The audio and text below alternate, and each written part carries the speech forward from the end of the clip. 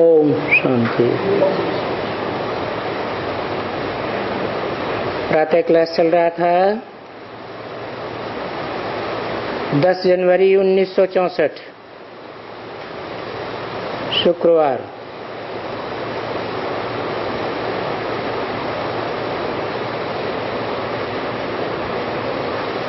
बच्चों को विचार सागर मंथन करना चाहिए।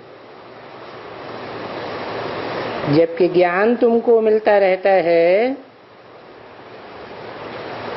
तो उसको ही कहा जाता है विचार सागर मंथन करने से। उनमें से कुछ अमृत निकलेगा, मक्खन निकलेगा। अगर विचार सागर मंथन नहीं करेंगे तो बाकी क्या मंथन करेंगे? बाकी तो आसुरी विचार मंथन करेंगे। और उस विचार मंथन से कचड़ा ही निकलेगा।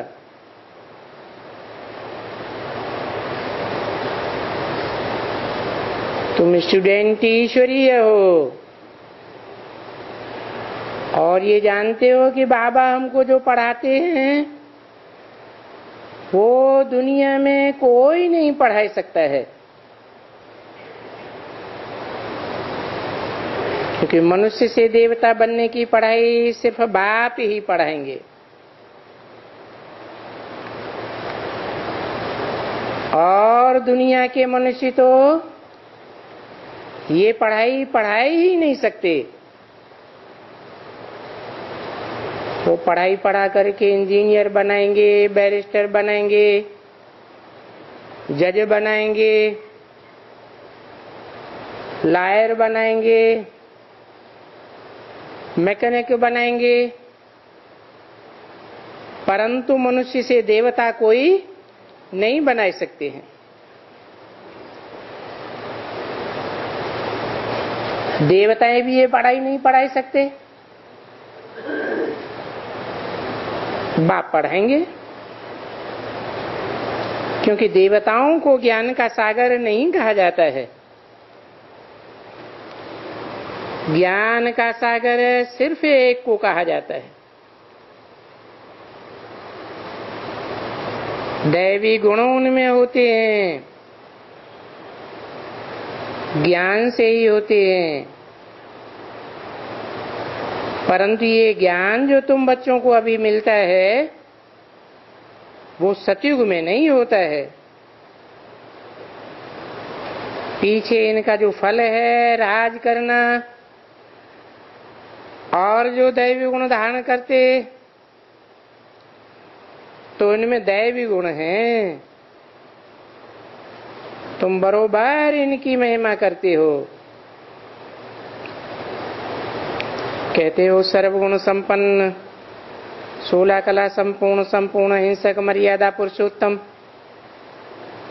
ऐसे गाते हो ना तो तुमको भी तो ऐसा ही बनना होता है ना। तो अपने से पूछना चाहिए, मेरे में सभी दैवी गुण हैं? या कोई आसुरी गुण भी है? आसुरी गुण है तो निकाल देना चाहिए। निकालते रहेंगे, तभी देवता बनेंगे। अगर नहीं निकालते हैं तो भले देवता बनते हैं, परंतु कम दर्जे के। जैसे मनुष्यों को कहते हैं, ये कम दर्जे का मनुष्य है।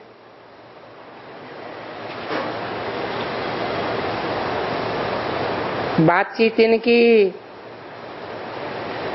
इससे मालूम पड़ता है, ये कम दर्जे के मनुष्य हैं। अभी तुम तो दैवी गुण धारण करते हो। तुम जानते हो कि तुम बहुत अच्छी अच्छी बातें सुनाते हो। ये भी जानते हो कि हम उत्तम दर्जे के बनने वाले हैं। इस संगम युग को कहा ही जाता है, पुरुषोत्तम संगम युग। अर्थात पुरुषों में जो उत्तम है उनको पुरुषोत्तम कहा जाता है। और पुरुषों में उत्तम तो नारायण को ही कहा जाता है ना। तो पुरुषोत्तम नारायण का संगम युग है। सतयुग में भी नारायण तो होंगे, परंतु उनको पुरुषोत्तम नहीं कहेंगे। पुरुष शरीर को कहा जाता है। पुरुष अर्थात शरीर रूपी पुरी में शयन करने वाला आत्मा और आत्माओं में उत्तम पार्ट बजाने वाला हीरो पार्टधारी उनको कहा जाता है पुरुषोत्तम। उनका ये युग है पुरुषोत्तम संगम युग। क्योंकि तुम पुरुषोत्तम बन रहे हो और अच्छे दर्जे के बन रहे हो। तो तुम्हारा वातावरण अच्छा होना चाहिए। तभी तुम अच्छे दर्जे के कहने जाएँगे। तुम्हारा वातावरण, तुम्हारा वाइब्रेशन अच्छा होगा। तो जो तुम्हारी बात सुनेगा, जो तुमको देखेगा तो उसकी बुद्धि में बैठेगा कि पुरुषोत्तम बनाने वाला बाप ज़रूर आया हुआ है। छीछी मुख से निकले। जिसको झगड़ा टंटा कहा जाता है तो कहा जाएगा, ये कम दर्जे का मनुष्य है। तो ये वातावरण से ही मालूम हो जाता है, मुख से वचन निकले, फिर भी देखते हैं किसको दुख देने वाले हैं। तो ये कम दर्जे का मनुष्य है। उत्तम दर्जे का मनुष्य बनना है। ये जो पुरुषोत्तम युग है, उनमें ये उत्तम नहीं बनते हैं। देखो, पुरुषार्थ करने वाले कितने होते हैं, परंतु उत्तम नहीं बनते हैं। कितना कम दर्जे में चले जाते हैं। तो बच्चों को फिर चाहिए उत्तम दर्जा बनने के लिए। क्योंकि बाप का नाम भी तो बाला करना है ना। यहाँ बहुत आते हैं, बाहर से भी आते हैं। अब कम दर्जे का मनुष्य होगा तो कुत्ते जैसा काट देगा। तो कहेंगे, ये कम दर्जे का मनुष्य है। नहीं तो तुम्हारा मुखड़ा सदैव हर्षित मुख होना चाहिए। जो हर्षित मुख नहीं होते हैं तो फिर उनमें ज्ञान नहीं कहा जाता है।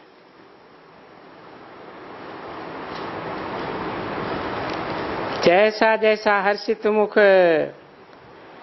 क्योंकि तुम्हारे मुख से रतन निकलने का है। देखो इनके मुख से रतन निकलते निकलते कितना हर्षित मुख हो गए। किनके मुख से लक्ष्मी नारायण के चित्र की तरफ़ इशारा किया। आत्माओं से रतन निकलते हैं ना? रतन सुनते थे। रतन डालते थे। क्योंकि रत्नों की लेन देन का टीचर बनेगा। तो देखो, कितनी खुशी होगी। फिर क्या खुशी होती है? ये ज्ञान के रतन जो हम लेते हैं, ये रतन फिर सच्चे रतन बन जाते हैं। ये हीरे मोती जवाहरात बन जाते हैं। ये नवरत्न की माला, कोई हीरे वीरे की माला थोड़ी ही होती है। वो कोई हीरो पार्टधारी नहीं होते हैं। वो तो जड़ रतन है। नहीं, ये रत्नों की माला है, चैतन्य रतन है। कोई उन जड़ रत्नों की नहीं है। मनुष्य तो ये रतन समझकर अंगूठियाँ वगैरह पहन लेते हैं। बाकी वो रत्नों की माला तो सभी संगम युग पर मिलती है। वो जो रतन है, वो थोड़े ही हैं। और ये सच्चे रतन तो थोड़े बनते हैं। उनका थोड़े ही कोई माला वगैरह या जेवर बनता है।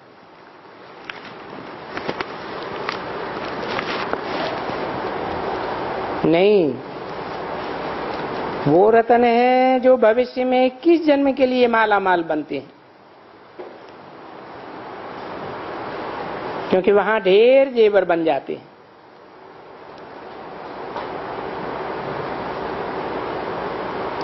दस जनवरी 1964 की वाणी का तीसरा पेज। हीरे जवाहर, मोती वहाँ कोई लूट तो सकते नहीं है। यहाँ तुम ये रतन पहनो तो तुम बच्चों को कोई लूट ले जावे। तो अपन को बहुत बहुत समझदार बनाना चाहिए। क्योंकि जो कोई भी आसुरी गुण जिनमें होते हैं, वो आसुरी गुण जब निकलते हैं तो उनकी शिकल ही ऐसी हो जाती है। अभी देखो क्रोध है। तांबे जैसा हो जाता है। उस समय में ऐसी शिकल हो जाती है। कोई क्रोधी को देखा है? कोई बहुत क्रोध करता है तो उनकी शिकल तांबे जैसी लाल हो जाती है ना। और काम विकार तो मशहूर है। जो काला बनाए देता है, जैसे कृष्ण को काला बनाई दिया ये कृष्ण को काला क्यों बनाई दिया है? क्योंकि जब सांवरा था तो फिर विकार के कारण काला बनाई दिया मना, पुरुषार्थी जीवन में काला था या गोरा था? क्या था? कृष्ण, राम को भी काला दिखाते हैं। क्यों काला दिखाते हैं? पुरुषार्थी जीवन में काले थे या गोरे थे? हैं? काले थे। गोरे होते तो पुरुषार्थ करने की दरकार होती ही नहीं। तो बच्चों को हरेक बात का विचार सागर मंथन बैठ करना चाहिए। कि हमको क्या बनना है? तो एकांत में पढ़ाई चाहिए ना? वो तो पाई पैसे की पढ़ाई। एक जन्म भी पूरा काम में आवे ना आवे। हद के मनुष्यों के द्वारा पढ़ाई हुई है। ये तो बेहद का बाप बैठ पढ़ाते हैं। ये पढ़ाई बहुत धन देती है। तो पढ़ाई जो बहुत ऊँची है तो उसमें बहुत अच्छा अटेंशन देना चाहिए। तुमने सुना होगा कि क्वीन विक्टोरिया का जो वज़ीर बना था, कितना गरीब था।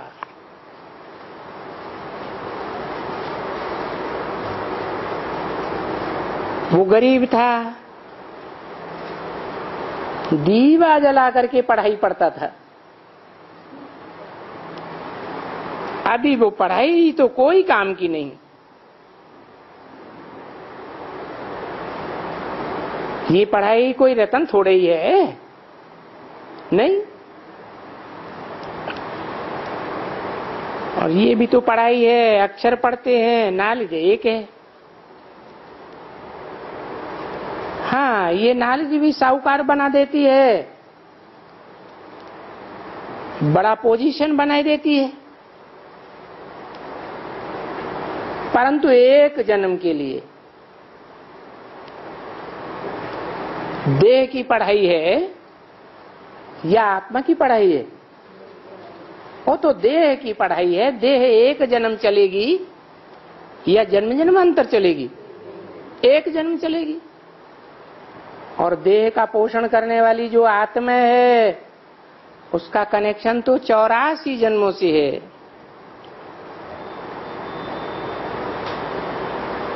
तो वो पढ़ करके जाकर क्वीन विक्टोरिया का प्राइम मिनिस्टर बन गया।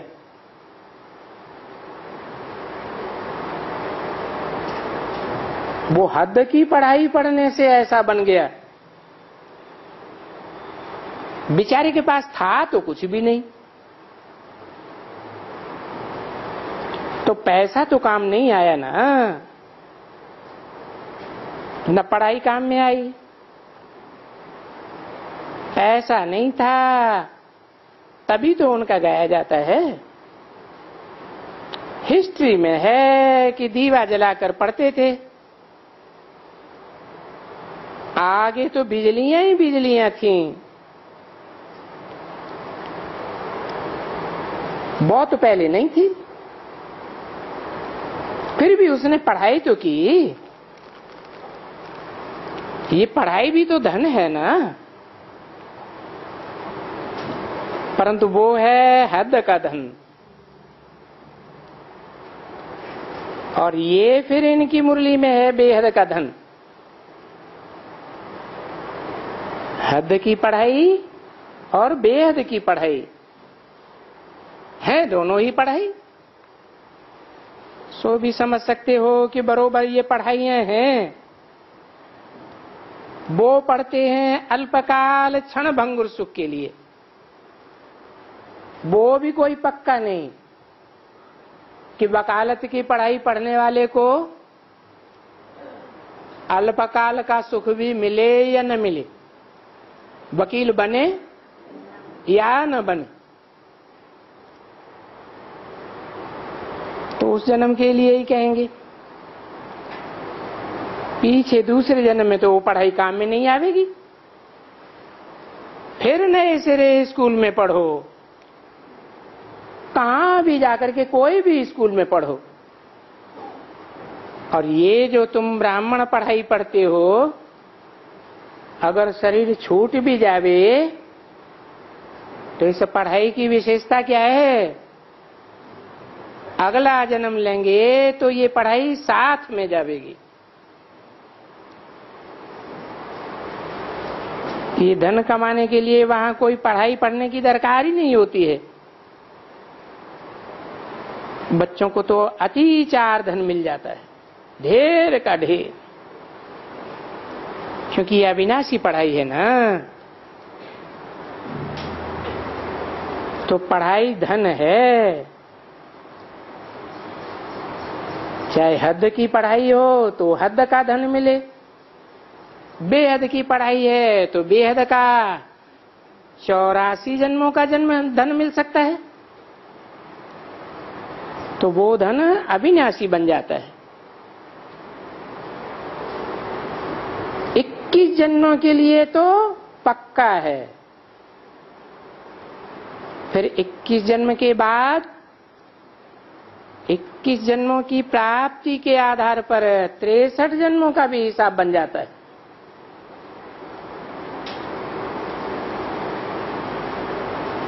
तो पढ़ाई तक तो भला समझ लो ना, बहुत धन था।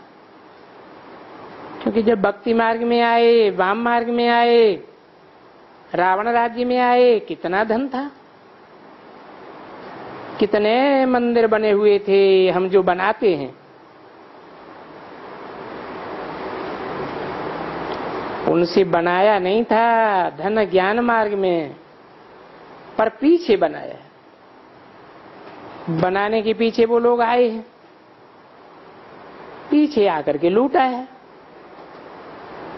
तो देखो, तुम कितने धनवान थे, बहुत धनवान।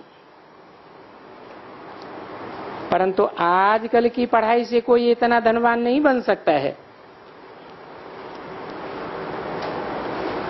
भले कितने भी अभी कहते हैं मल्टी मिलियनर हैं। ये है, फलाना है। क्योंकि सो भी सिर्फ़ राज्य के लिए नहीं बनते हैं। न राज्य के लिए गाते हैं। नहीं। या इंडिया के लिए तो बहुत गाते हैं। आगा खाता ये जो बड़ौदे में सेंटर है ना बड़ौदे के लिए भी लिखता है अखबार में। One of the richest in world अभी तो तुम बच्चे जान गए हो। कि हम वो पढ़ाई पढ़ते? इसको मुरली कहा जाता है। और मुरलियाँ कितनी हैं? अभी कृष्ण तो मुरली बजाना जानते ही नहीं है। बाबा ने समझाया ना, न मुरली जानते हैं, न भक्ति जानते हैं। सतयुग का कृष्ण कोई मुरली बजाना जानता है क्या? भक्ति करते हैं क्या? जो अविनाशी ज्ञान रतन की मुरली सुनी है वो इस मुरली का प्रभाव है। क्योंकि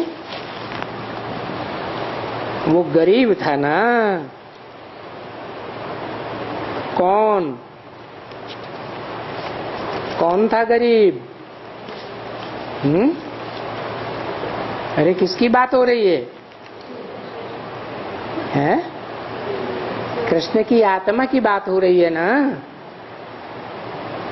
सत्युग में प्रारब्ध पाया। कौन सी पढ़ाई से? अभी संगम युग की पढ़ाई से सतयुग में प्रारब्ध पाया। किसने? है? कृष्ण ने। कौन सी पढ़ाई पढ़ी? है? और गरीब कब था? है? किसकी बात है?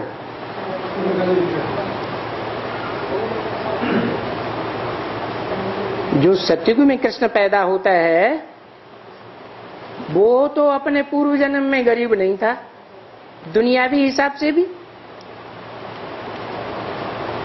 तो कौन से गरीब कृष्ण की बात की है?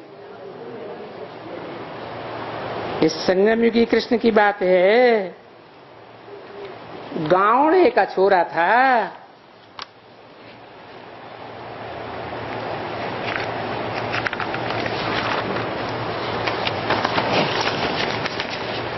हैदराबाद गावड़ा है?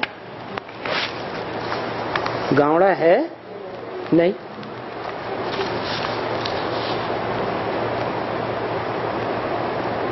बेचारा अंतिम जन्म में गावड़े का छोरा जाकर बना। 10 जनवरी 1964 की वाणी का चौथा पेज। अभी विचार करो जैसे बाबा ने बालवे ने क्या सुनाया? विक्टोरिया का वज़ीर, कि बेचारा गरीब था, पढ़ाई पढ़ कर के प्राइम मिनिस्टर बन गया। भले हद की पढ़ाई भी पढ़ी, पुरुषार्थ तो किया ना। एक जन्म की पढ़ाई प्राप्त करने प्राप्ति की कितनी बड़ी प्राप्ति हो गई? अभी भारत, देखो भारत का क्या हाल है। भारत कितना गरीब है। और गरीब को ही तुम देखते हो। म्यूज़ियम म्यूज़ियम में जाओ। यहाँ जाओ। तो साहूकारों को तो फुर्सत ही नहीं है। उनको वो अपना अहंकार है, देह अभिमान है। मैं फलाना हूँ। फलाना हूँ, ये अहंकार है ना? मेरे पास हीरे जवाहरात हैं। तो वो अहंकार उनमें रह जाता है। इनमें तो सारा अहंकार मिट जाता है। किसमें? देह की पढ़ाई में या आत्मा की पढ़ाई में? हम्म देह की पढ़ाई में देह अहंकार बढ़ता जाता है। और ये जो आत्मा की पढ़ाई परमपिता परमात्मा पढ़ाते हैं, इसमें पहली पढ़ाई क्या पढ़ाई जाती है? मैं कौन हूँ? मैं आत्मा हूँ। तो पहले पहले ही आत्मा का अहंकार मिटाई दिया जाता है। अहंकार तो देह अभिमान में होता है ना।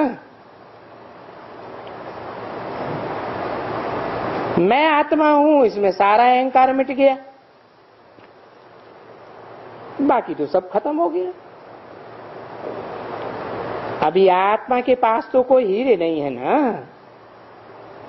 आत्मा के पास तो कोई जवाहर नहीं है ना? कोई धन नहीं है, दौलत नहीं है, कुछ भी नहीं। वो तो बाप खुद ही कहते हैं, कि ये देह है। देह के सभी संबंध है। देह का पोषण करने वाले पदार्थ हीरे जवाहरात क्या हैं?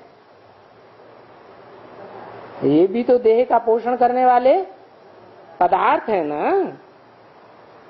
तो बाप खुद ही कहते हैं न सभी का भान छोड़ दो।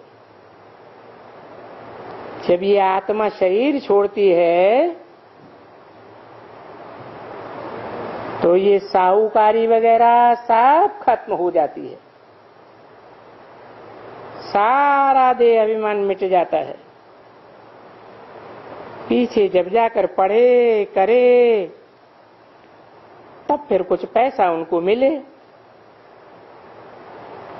या अच्छा कर्म किया होगा। तो कोई साहूकार की जाकर गोद लेगा। क्योंकि दान पुण्य बहुत अच्छा किया होगा। तो कोई साहूकार के घर में जन्म भी लेगा। तभी तो गाया जाता है ना। ये पास्ट जन्म के कर्म हैं इनके। जो इन्हें साहूकार के पास जन्म मिला है। या तो पढ़ाई अच्छी पढ़ी है, क्योंकि ऐसी कुछ आगे भी नॉलेज का दान किया है। कोई कॉलेज स्कूल बनाई है तो उनका फल मिल जाता है। धर्मशालाएँ बनाई हैं तो उनको बहुत कुछ मिल जाता है।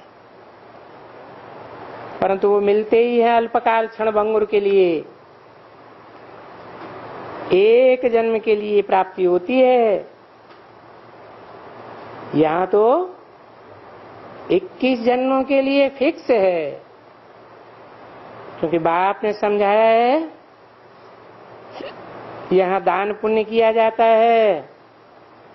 सतयुग में तो दान पुण्य नहीं किया जाता है। वहाँ किसको दान पुण्य करेंगे? वहाँ कोई गरीब होता है क्या?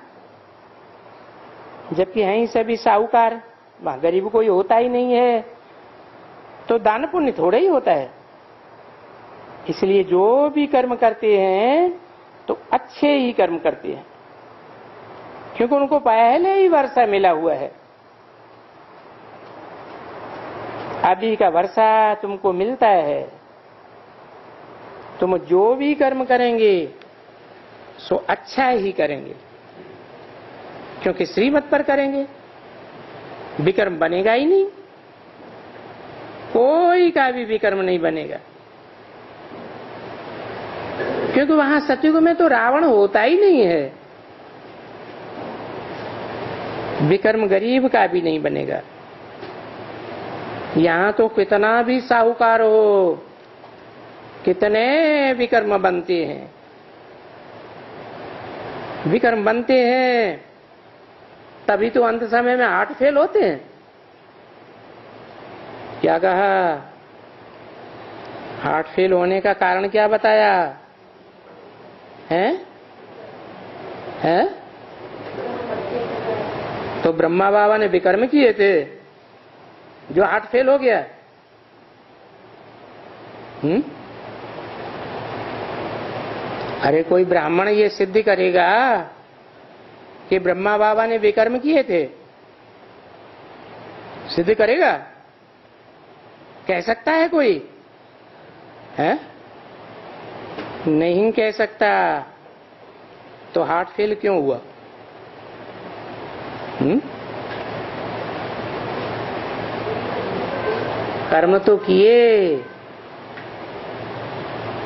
जितनी समझ थी ज्ञान की, मुरलियों को जितना बच्चा बुद्धि से समझा था, उतने ही कर्म अच्छे किए।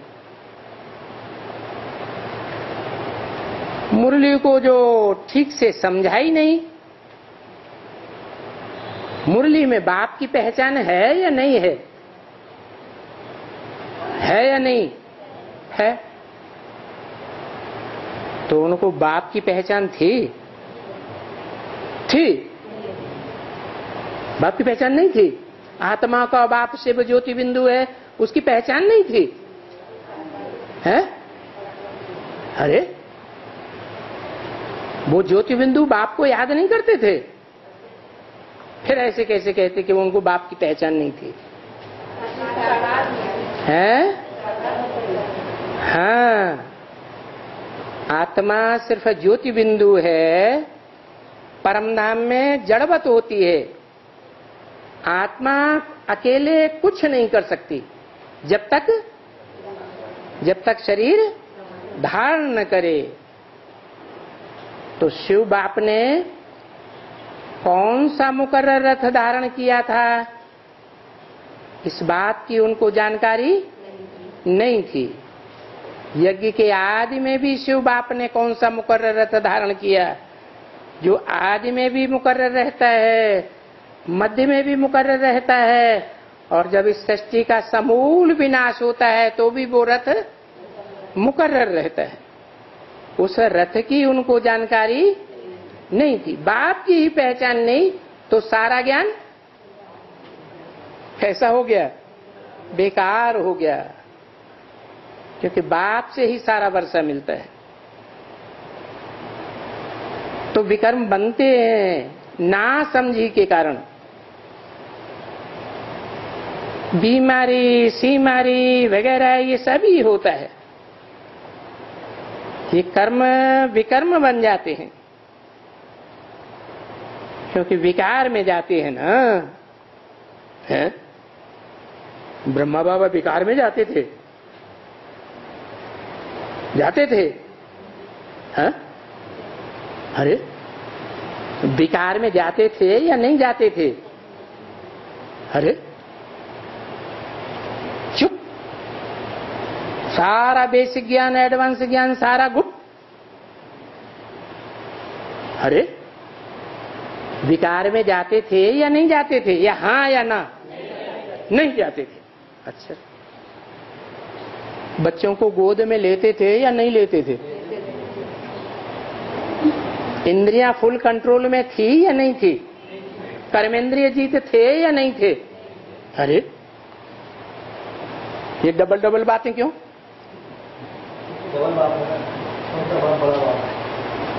कामेंद्रिय कंट्रोल में थी या नहीं थी? काम जीते जगत जीत बने थे या नहीं बने थे? जब नहीं बने थे तो विक्रम बनेंगे या नहीं बनेंगे? हैं? बनेंगे।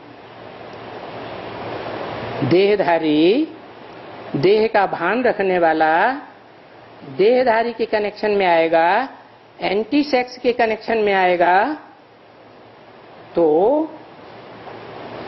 क्या होगा? बुद्धि का लगाव अटैचमेंट में आएगा या नहीं आएगा? अटैचमेंट में आएगा, भले। कर्मेंद्रियों से विकर्म नहीं किया। काम विकार के फोर्स में आकर जैसे सब पुरुष जिन्हें दुर्योधन दुशासन कहा है, वो विकर्म करते हैं। विपरीत कर्म करते हैं दुख देने का। वो नहीं किया। लेकिन क्या मनसा में जब उत्तेजना बढ़ जाती है तो डिस्चार्ज होता है या नहीं होता है? हैं? गोद में लेने से भी डिस्चार्ज होगा या नहीं होगा? डिस्चार्ज होता है। स्त्री जाति का भी होता है, पुरुषों का भी होता है। तो शक्ति क्षीण हुई या नहीं हुई? शक्ति क्षीण होने को ही पतन कहा जाता है। पतित कहा जाता है। यादगार शिव के मंदिर में रखी हुई है।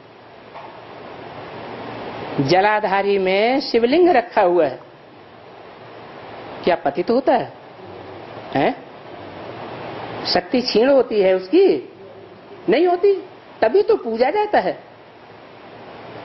नहीं तो क्यों पूजा जाता है शिवलिंग? है? नहीं, बाप की तो उनको पहचान ही नहीं थी। यज्ञ के आदि में जो बाप बाप का पार्ट बजाया ज्ञान का बीज बोने वाला बाप, उसकी तो उनको पहचान अहंकार के कारण नहीं हुई। क्या अहंकार? है?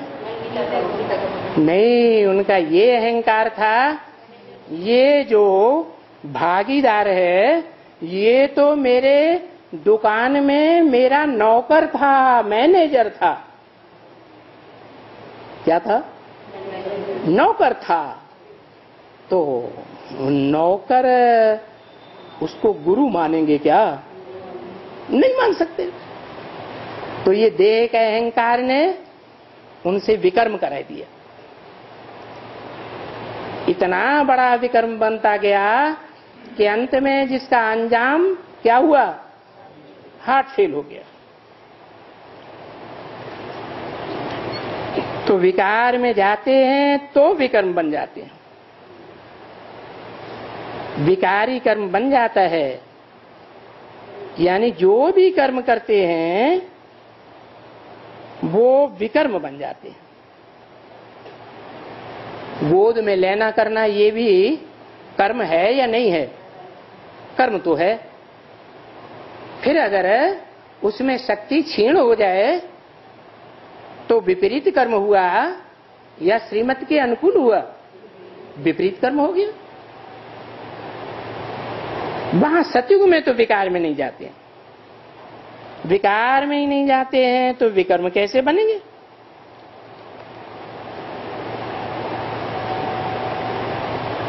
वहाँ सतयुग में विकार में नहीं जाते। देवी देवताएँ जैसे राधा की दृष्टि कृष्ण में डूबती है। कृष्ण की दृष्टि राधा में डूबती है, अथवा देवताएँ एक दूसरे को गोद में लेते हैं तो उनका विकर्म नहीं बनता। है? बनता है? क्यों? हाँ क्योंकि वहाँ सब देवताओं की आत्मिक दृष्टि होती है। देह का भान होता ही नहीं। तो सारा मदार है विकार के ऊपर। वि माने विपरीत कार माना कार्य। कर्म करें। कर्म धारा बगैर मनुष्य रह नहीं सकता, चाहे देवता हो, चाहे मनुष्य हो, चाहे राक्षस हो। कर्म तो करना ही है। परंतु कैसा कर्म? श्रीमत के विपरीत कर्म नहीं। श्रीमत अव्वल नंबर क्या है? अपन को आत्मा समझो तो देवताएँ अपन को क्या सब समझते हैं सदैव? आत्मा समझते हैं। तो ये है माया का अवगुण। क्या? है? विकार। वि माने विपरीत कार माना कार्य। काहे के विपरीत? श्रीमत के विपरीत कार्य इसको गुण तो नहीं कहेंगे ना? ये माया का अवगुण है, रावण का अवगुण। जो अब देखो, मनुष्य विकारी बन जाते हैं। तो क्या कहेंगे? ब्रह्मा बाबा मनुष्य थे या देवता थे? हैं? मनुष्य थे। मनुष्य थे तो विकार से विकर्म बनेगा या नहीं बनेगा? या तो देवता बन जाए तो विकर्म नहीं बनेगा, क्योंकि देवताएँ आत्मिक स्थिति में होती हैं। तो बाप आकर के पढ़ाई पढ़ाते हैं। कौन? है? कौन? बाप। माँ नहीं। ये जो पढ़ाई है, विकर्मा जीत बनने की, विकारों के ऊपर जीत पाने की, ये पढ़ाई कौन आकर पढ़ाते हैं? बाप आकर पढ़ाते हैं। गॉड पढ़ाते हैं। निर्विकारी बनाने के लिए। भगवान ऊपर से आते हैं। निर्विकारी बनाने के लिए। भगवान बना सकता है। हैं? क्या? क्या बना सकता है? भगवान बना सकता है। क्या बना सकता है? हैं? विकारी बना सकता है। अरे, भगवान विकारी बना सकता है। नहीं। माया से निर्विकारी बनाते हैं, बाप आकर बनाते हैं। माया फिर द्वापर से उनको क्या बना देती है? विकारी बनाई देती है। तो इसको युद्ध कहा जाता है। किसका युद्ध है? हैं? ये दो वंशों का युद्ध है। राम वंश का युद्ध है और रावण वंशी का युद्ध। है क्योंकि उन लोगों ने नाम ठीक नहीं रखा है। परंतु है तो ठीक ना। तुम बाप के बच्चे हो और वो रावण के बच्चे हैं। किसके बच्चे हो? बाप के बच्चे। कृष्ण बाप के बच्चे। क्या कहा जाता है? राम को बाप कहा जाता है, कृष्ण को बच्चा कहा जाता है। तो युद्ध है ना बरोबर, और कितने जाते हैं युद्ध में? तुम्हारे में बहुत अच्छे अच्छे होशियार होशियार बहुत हैं, जो हार जाते हैं, क्योंकि माया बड़ी प्रबल हो जाती है। ऐसी ऐसी बातें सुनो तो एकदम तुम्हारा कान ठहराए देवे। परंतु बाबा ऐसी बातों को अभी इतना जास्ती सुनाते नहीं है, है? ऐसी ऐसी बातें बाबा चौसठ की वाणी है या चौसठ से पहले या दो एक वर्ष आगे तक जब तक जीवित रहे ऐसी ऐसी बातें सुनाते थे है? सुनाते थे हैं? नहीं सुनाते थे क्योंकि बाप बच्चों पर उम्मीद रखते हैं। किस बात की? कि बच्चे अभी बच्चा बुद्धि है। इन बातों को अभी उतना समझेंगे नहीं। इसलिए जब बालिग हो जाए तो तो समझेंगे तो उम्मीद रखते हैं। फिर भी ऐसे भी अधम ते अधम है। दूसरा दफ़ा जाने से फिर उसको कहेंगे अधम ते अधम उनका भी फिर उद्धार करना होता है। और वो उद्धार होना भी ज़रूर है। सारे विश्व का उद्धार होना है ना। सिर्फ़ भारत का तो उद्धार नहीं होना है। उद्धार माने? उत हर। दो शब्दों को मिलाया, संधि किया तो क्या हो गया? उत मने ऊपर। हर मने? हरण करके ले जाए। तो क्या हो गया? उद्धार। तो दो प्रकार की आत्माएँ हैं। एक उद्धार मूर्त और दूसरी उदाहरण मूर्त। उद्धार मूर्त है, बीज रूप आत्माएँ जो खुद भी आत्मिक स्थिति में स्थित होकर, बीज रूप में स्थित होकर के कहा जाती है? है? नीचे जाती है या ऊपर जाती है? उत्तर ऊपर जाती है। और दूसरों को भी? हाँ जिनके संग के रंग में आते हैं, वो भी ऊपर जाते हैं। तो बीच में गिरते गिरते तो बहुत हैं। और ढेर गिरते हैं। एकदम चट्ट खाते में चले जाते हैं।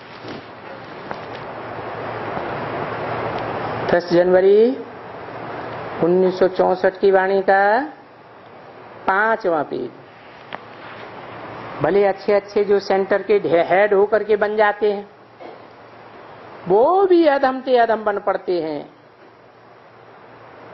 किसको अधम ते अधम कहते हैं? जो अधम से अच्छा बन करके फिर अधम बन जाते हैं। क्या? अधम ते अधम किसको कहा जाता है? जो अच्छे बनते हैं और फिर फिर नीचे गिर जाते हैं।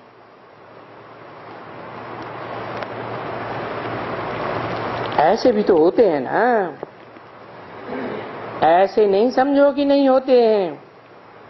होते हैं।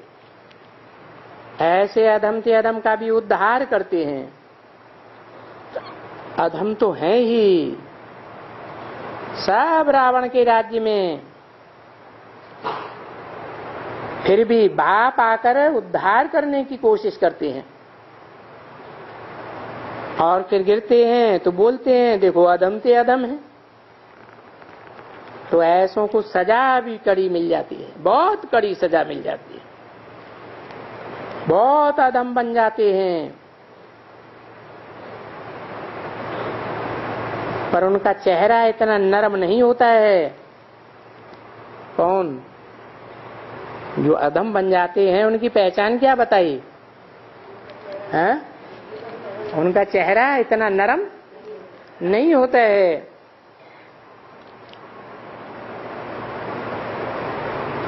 वो अधमपना आता रहता है और फिर उनको खाता रहता है। अधमपना अंदर अंदर जब खाता रहेगा, कि हम नीचे गिर गए बार बार खाता रहता है तो उसकी निशानी चेहरे पर आती रहेगी या नहीं आती रहेगी? आती रहती है।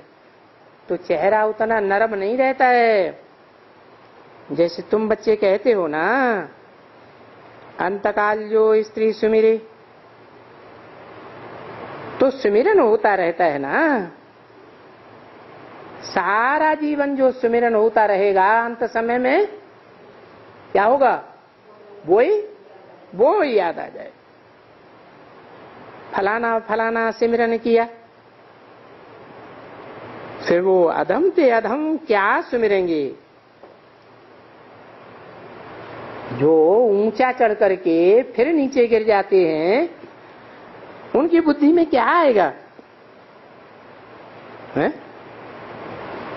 क्या आएगा? है? नीचे चढ़े, इंचार्ज बना दिया गया। किसी बड़े सेंटर के इंचार्ज बन गए। फिर अधम काम कर लिया।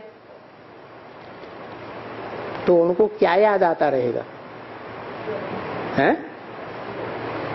अरे, बड़प्पन याद आएगा, नीचे गिरना बार बार याद आएगा। उनकी बुद्धि में वो ही अधमपना याद आता रहेगा कि हम नीचे गिरे हैं। तो फिर उनका भी उद्धार करता हूँ। फिर वो भी सतयुग में तो आ जाएँगे ना। तो बाप बैठकर बच्चों को ये सभी नई बातें समझाते हैं। जो फिर कल्प के बाद सुनते हो, भक्ति मार्ग में ये सभी बातें होती ही नहीं है। ज्ञान ही नहीं है ये षष्ठ चक्र का, कैसे फिरता है? तो फिर इन बातों को जानवर सुनेंगे क्या? मनुष्य तो सुनेंगे ना।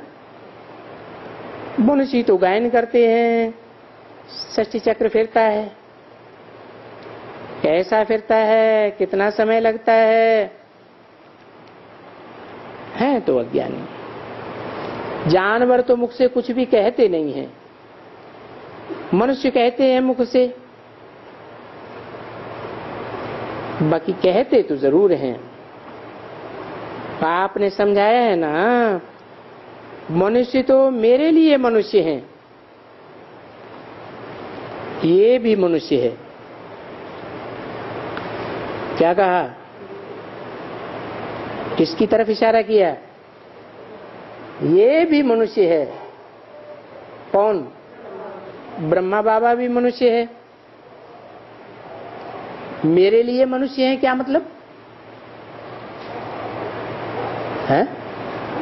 मनुष्य मेरे लिए हैं। ये किसने कहा? अरे शिव बाप ने कहा ना। तो मेरे लिए मनुष्य है ऐसे क्यों कहा? क्योंकि मैं जो पढ़ाई पढ़ाता हूँ, किसको पढ़ाता हूँ? जानवरों की मकोड़ों को पढ़ाता हूँ क्या? है? किसको पढ़ाता हूँ? मनुष्यों को ही तो पढ़ाता हूँ तो मनुष्य मेरे लिए है। प्रश्न को क्या कहेंगे? दैवी गुण वाला मनुष्य होने के कारण उनको देवता कहा जाता है। फिर भी है तो मनुष्य ना। दूसरा कोई फ़र्क तो नहीं है। सामने देखो, इनको तन भी है, नाक भी है कोई फ़र्क थोड़ी ही। है ये भी मनुष्य, तुम भी मनुष्य। तो अभी तुम बच्चों को मालूम पड़ा कि ये देवता कहने वाला ये कैसे बन सकते हैं? फिर बनते हैं तो फिर कैसे गिरते हैं?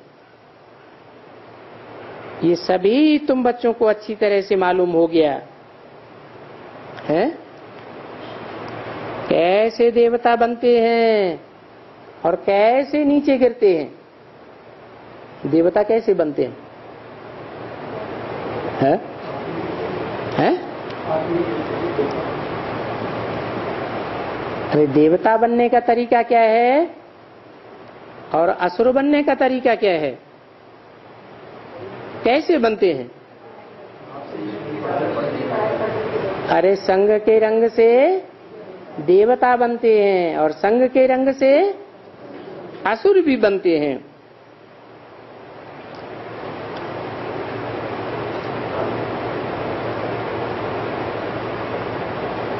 आज की दुनिया में भी पढ़ाई पढ़ाते हैं। डॉक्टर बनाते हैं, वकील बनाते हैं तो किसका संग लेना पड़ता है?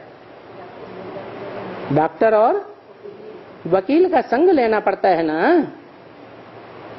कि बिना संग के बन जाते हैं। नहीं बन सकते तो देवता कैसे बनेंगे? देवता बनाने के लिए भी किसका संग लेना पड़े? देवता का ही संग लेना पड़े। फिर भगवान की ज़रूरत नहीं है। हैं? अरे भगवान की ज़रूरत है या नहीं है? कैसे है अरे वकील वकील बनाएगा। डॉक्टर डॉक्टर बनाएगा, इंजीनियर इंजीनियर बनाएगा। और देवता? देवता ही बनाएगा। तो भगवान किस खाते में गया? भगवान सिर्फ़ भगवती बनाता है। भगवान सिर्फ़ भगवती बनाता भगवान नहीं बनाता। भगवान भगवान भगवती बनाता और वो भगवान, भगवती एक बनता है, या सब बनते हैं? भगवान, भगवती एक ही बनता है। परंतु भगवान भगवती वास्तव में कहना रांग है या राइट है, है? राइट है। समझाने के लिए केवल भगवान क्योंकि चलती बात ना। भगवान जो है वो कभी दो नहीं होते हैं। भगवान एक अकेला है। ये सिर्फ़ समझाने के लिए कहा जाता है कि भगवान आकर आप समान भगवान भगवती बनाते हैं। वास्तव में गॉड इज़ वन ये गॉड दो। गॉड इज़ वन तो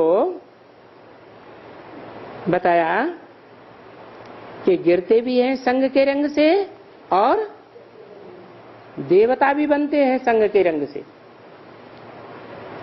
तो फिर देवता कैसे बनते हैं? हाँ। कोई एक पेयर है जो भगवान भगवती कहा जाता है, लेकिन वास्तव में वो भगवान भगवती है या देवी देवता है? हैं? और बड़ा देवी देवता है या छोटा देवी देवता है? तो बड़ा देवी देवता को क्या नाम देते हैं? नहीं। नहीं, नाम देते हैं महादेव महादेवी। क्या नाम देते हैं? महादेव, महादेवी। तो उनके संग के रंग से क्या बनते हैं फिर? देवी देवता बनते हैं।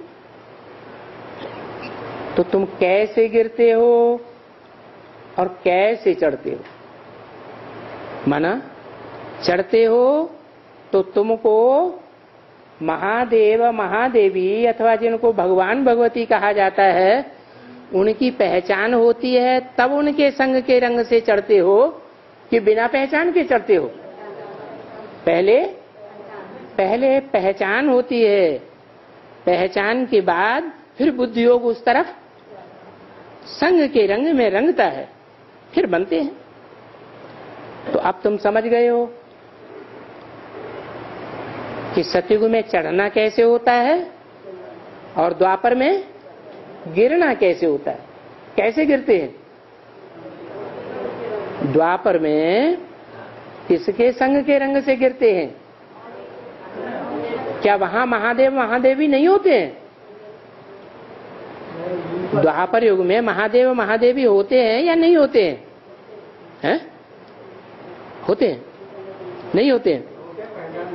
हाँ होते हैं, लेकिन उनकी पहचान नहीं होती, क्योंकि देवताओं को ही ज्ञान नहीं होता। तो द्वापर के मनुष्यों को कहाँ से ज्ञान हो जाएगा? तो ये सब विचार सागर मंथन की बातें हैं। ये बातें तुमको अच्छी तरह से मालूम हो गई है। तुमको धारणा होती है जो फिर मुरली चला सके। कहा कि जो विचार सागर मंथन ही नहीं करते हैं तो बुद्धू के बुद्धू एकदम। तो विचार सागर मंथन ही नहीं करते। जो मुरली चलाने वाले होंगे, उनका विचार सागर मंथन ज़रूर चलेगा। कि कल हमको किस टॉपिक पर समझाना है। अभी जिसको आदत नहीं है तो क्या विचार सागर मंथन करेंगे? और विचार सागर मंथन ऑटोमेटिकली होता है। ये? विचार सागर मंथन करने की प्रैक्टिस करनी है, या विचार सागर मंथन ऑटोमेटिकली होता है, कैसे होता है? हैं? अभी तो कहा ऑटोमेटिकली होता है। प्रैक्टिस करना है। फिर ऑटोमेटिकली होने की क्या ज़रूरत? ऑटोमेटिकली भी तब होता है जो आत्मिक स्थिति में बिंदु रूप स्टेज में टिकने की प्रैक्टिस पक्की करते हैं। जितना बीज रूप स्टेज में टिकेंगे तो बीज विस्तार को अपने आप प्राप्त कर लेता है। क्या? बीज है, बीज को सही धरणी मिलती है, वातावरण मिलता है, नमी मिलती है तो अपने आप विकसित होता है, फैलता है या नहीं फैलता है? अपने आप फैलता है। तो क्या करना है? है? हाँ ज़्यादा से ज़्यादा आत्मिक स्टेज बीज रूप स्टेज में रहने की प्रैक्टिस करनी है। जब बीज रूप स्टेज में टिकेंगे तो विचार सागर मंथन ऑटोमेटिक चलेगा। जैसे बाप ने कल भी समझाया, देखो, हमारे पास आने वाले हैं। उनमें ज्ञान नहीं है। तो विचार सागर मंथन का ख्याल आएगा ना? जिनको समझाने का अच्छा उल्लास होगा। ये आया, इनको निश्चय नहीं होता है। मैं उनको समझाए, निश्चय करा देता हूँ। फिर ये है उनके बागी के ऊपर। कोई करेंगे, कोई नहीं करेंगे। पचास होंगे तो उनमें से पाँच सात तो बेशक कुछ न कुछ समझ जाएँगे। क्या कहा? हम्म? कुछ न कुछ समझ जाएँगे, या दस समझ जाएँगे। बाकी बीस, पच्चीस भी समझ जाएँगे, और कोई नहीं समझ सकेंगे। वो भी उम्मीद रखते हैं। कि अभी नहीं समझते हैं, चलो आगे चल करके समझेंगे। आगे चल करके क्यों समझेंगे? अभी क्यों नहीं समझते? हैं? अभी इसलिए नहीं समझते कि ज्ञानियों का झाड़ छोटा है या बड़ा है? ज्ञानियों का झाड़ छोटा है। छोटे झाड़ को ज़्यादा माया के तूफ़ान लगते हैं तूफ़ान ज़्यादा नुकसान करते हैं छोटे झाड़ को, या बड़े झाड़ को ज़्यादा नुकसान करते हैं? छोटे झाड़ को ज़्यादा नुकसान करते हैं। तो अभी नहीं समझते हैं, आगे चल करके समझ जाएँगे। जब झाड़ बढ़ेगा तो उम्मीद रखनी चाहिए ना। क्योंकि उम्मीद रखना ही सर्विस करने का शौक कहा जाता है।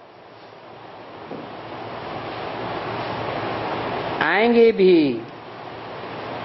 थक नहीं जाते हैं, इसमें थकना नहीं है। देखते भी हो बरोबर कि दो दो दो साल, एक एक साल नहीं आते हैं, फिर चले आते हैं। जो आते हैं एक साल के बाद, दो साल के बाद या और साल के बाद तो क्या उनको ज्ञान नहीं देंगे? देंगे या नहीं देंगे? ज़रूर देंगे। भले कोई गिरा हुआ है अधम ते अधम है। अधम से चढ़ करके फिर अधम बना है। तुम्हारे पास विजिटिंग रूप में आते हैं तो ज़रूर तुम उनको कहेंगे, तुम तो आगे थे, आगे आते थे। तो कहेंगे हाँ आते थे। लेकिन माया ने माया ने हमको हरा दिया। अभी मैं फिर आया हूँ।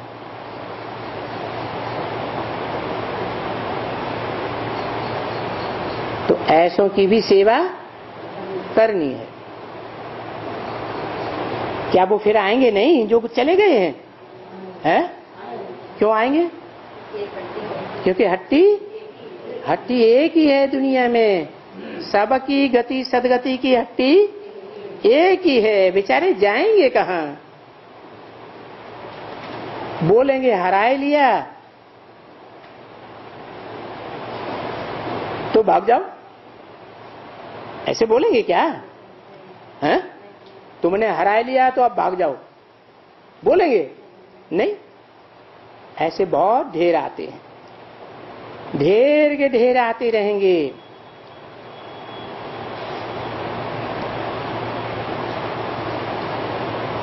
दस एक चौसठ की वाणी का छठा पेज वो खुद भी कहते हैं, मैं आता था, ज्ञान लेता था, फिर मैंने हरा लिया, छोड़ दिया। अभी फिर मेरे को आता है कि नहीं? क्योंकि ज्ञान तो बहुत अच्छा था। उस समय मुझे बहुत अच्छा लगता था, फिर मैं हार गया। ये स्मृति तो रखते हैं ना? जीत पहनना और हराने का नाम तो यहाँ होता ही है। ओम शांति।